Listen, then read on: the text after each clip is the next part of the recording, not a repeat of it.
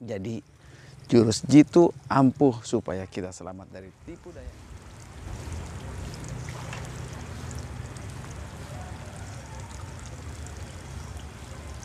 Assalamualaikum warahmatullahi wabarakatuh. Alhamdulillah wassalatu wassalamu ala Rasulillah wa ala alihi wa sahbihi wa man tabi'ahu wa wala. Tahukah kita ada yang ditakuti oleh syaitan, oleh iblis? Siapa?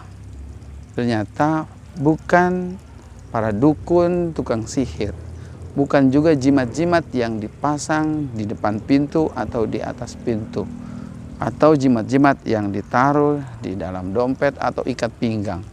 Bukan juga mantra-mantra jampe-jampe. Ternyata yang ditakuti oleh iblis sesuai pengakuan yang di dalam Al-Quran.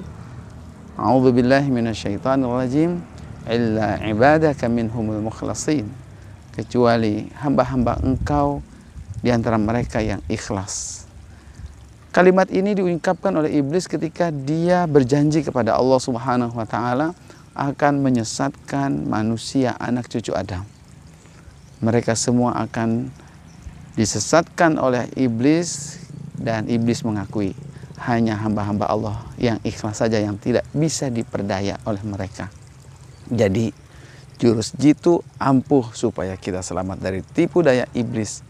Jadilah hamba-hamba Allah Subhanahu wa taala yang ikhlas menyembah Allah Subhanahu wa taala semata dan jangan mensekutukannya dengan yang lainnya.